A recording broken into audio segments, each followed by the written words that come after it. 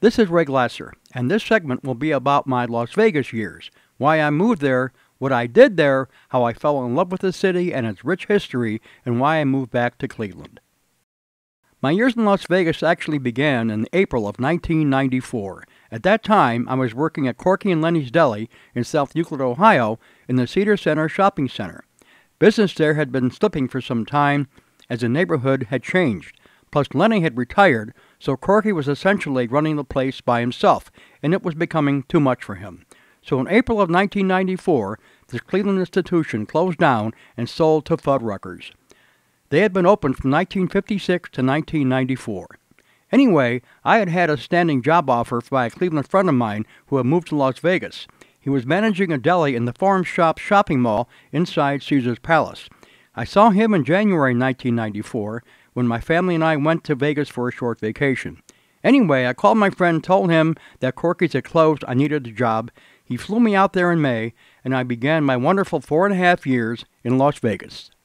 I flew out there with a huge suitcase full of clothes and shipped two of my Betamaxes and my computer and my small TV out there so I could at least set up my video gear temporarily. I lived with my friend in a beautiful, spacious two bedroom apartment on Colville Lane in the Desert Club apartment complex. It was actually a prime time to move to Las Vegas. California had just had the Northridge earthquake of late 1993, and people were leaving California in droves and moving to Las Vegas. Las Vegas experienced a huge growth spurt at this time. The economy was booming, the housing market was exploding, thanks to the influx of Californians and other people from all over the country. I began working at the Stage Deli in the Forum Shops the day after I moved out there, and I liked it immediately. It was set up just like Corky and Lenny's, a deli counter when you walked in, and the dining room after the deli counter. The guys I worked with there were cool, mostly from New York, and they knew their stuff, but they also knew how to have fun. Mickey joined me about two weeks later, and we began our lives in Las Vegas. We lived with my friend for a few months, then began looking for a house. We actually found a Japanese real estate agent whom Mickey bonded with instantly, and she found us a great house on the east side of town, about eight miles from the Strip. We began the purchase process and the paperwork, and finally moved in in July of 1994. July was a great month for me. We moved into our Las Vegas house, plus I attended the VSDA show at the convention center without having to fly across the country. The house was built in 1963 and was 1,920 square feet.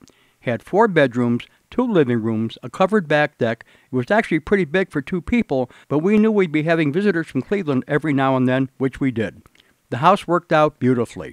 I took one bedroom and made it into my video room, and it even had a half bath attached to it. In September, Mickey and I flew back to Cleveland and packed up some essentials plus all my audio and video gear, threw it all in a big U-Haul, and my younger son drove it out to Las Vegas. I shot a video of my video room the way it had been since 1982 in my Mayfield Heights house so I could recreate it tape by tape and wall by wall in Las Vegas. We flew back, we unloaded the trailer, and began the huge process of recreating my video room. After about a week, it was finally done, and we settled into our life in Las Vegas. For me, it was a godsend living there, for many reasons. No more winters, no more blizzards, and no more airplane trips to fly to Vegas to attend the two trade shows that I went to every year the CES in January and the VSDA show in July.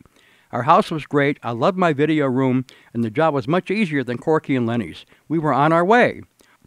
Over the years, we had lots of visitors from Cleveland, both friends and family.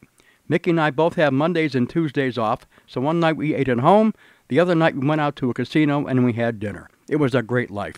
But in September of 1994, there was a bump the owner of the Stage Deli, where we were both working, sold the deli, and his last day as the owner was Halloween Day of 1994. I shot some video that day.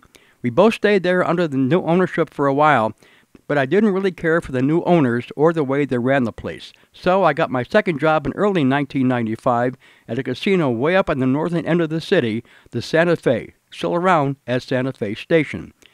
Even though the deli was in an atrium at the back of the casino, it was really cool working next to the casino. I loved the atmosphere. I remember when I took my lunch break in the Santa Fe's employee dining room, how cool it was to see the casino employees in so many different uniforms cocktail waitresses, doormen, poker dealers, and so forth. I loved it.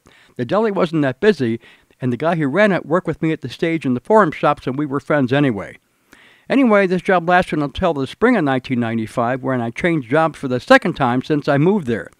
The owner of the stage deli in the forum shops, Joel, approached me and asked me if I wanted to come on board with him in the MGM Grand, where he had converted a snack bar into a mini stage deli, which was basically a carryout, and he called it the Stage Deli Express. We discussed things like money and hours, and I went for it. I actually worked there for the rest of my time in Las Vegas. There was no kitchen, no waitresses, no dining room. The customers bought their food and carried the food on a tray into the huge sportsbook area, which is right across from the deli, and that was essentially our seating area. It worked out beautifully. In December of 1995, a major Las Vegas development happened with the closing of downtown Las Vegas as a roadway, and construction began on the Fremont Street Experience evening, its fabled past will be forever etched in our memories. It is one of the most photographed and one of the most famous streets in the world. John Bonds joins us live now from the Fremont Street with his special report. John. We're underneath the wonderful canopy that makes up the new Fremont Street. We were told earlier this evening they had another light show, and we've also been told that it was fantastic. Of course, a lot of folks come down here to see the new Fremont Street experience, but for many people, the old Fremont experience will always hold a special place in their hearts.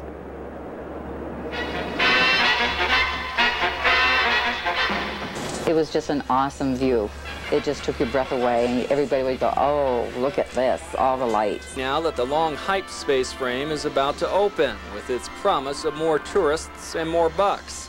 But can it ever replace the excitement, fun, and neon madness that made Fremont Street famous around the globe and forever changed? But will it regain the glory? Well, back here live, we'll all be able to answer that question for ourselves come December 14th. That's when the Fremont Street Experience opens officially to the public, but by looking at the crowds that have just assembled here tonight, it looks like it's on its way to success. Anyway, life is good. Throughout 1995, 96, and 97, we always had visitors from Cleveland and other places, and that plus our jobs kept us busy. Early in 1998, the stage deli in the forum shops where Mickey was still working was sold again, and she had a hard time with the new owners. Eventually, things came to a head, and they gave her a two week suspension. She wound up quitting, and she announced to me that she missed her family and wanted to move back to Cleveland. All the kids were getting married and having families of their own, and she missed them. She flew back to Cleveland in the summer of 1998 and immediately went back to working at Corky and Lenny's. And I began packing up her house and I put it on the market. Luckily, we had kept our house in Mayfield Heights just in case we ever moved back, and it's a good thing that we did. We finally sold the Las Vegas house in October and moved back to Cleveland on November 1st. I shot video of a lot of the trip back home with two cars and a huge U-Haul. The move was traumatic for me because I love my Las Vegas life and I didn't want to go back to the Cleveland winters, but I did. I was miserable for about six months after moving back. After all, we moved back right before winter, but I eventually got over it. So, the four and a half wonderful years of my Las Vegas life were over. While I lived there, I really fell in love with the city, and especially its rich history. I began taping everything I could about Las Vegas's colorful past. I still have lots of documentaries on tape from A&E, the History Channel, and so forth about the early years of Las Vegas, and they're still being aired to this day. And since I don't gamble, working in a casino was a breeze for me. I love the upbeat atmosphere, and I got a kick out of hearing people go crazy when they won at slots. So that's my life in Las Vegas from 1994 to late 1998. It was a great run. Yes, I still miss it, but not as much, obviously, as I used to since I've been back in Cleveland over 30 years now.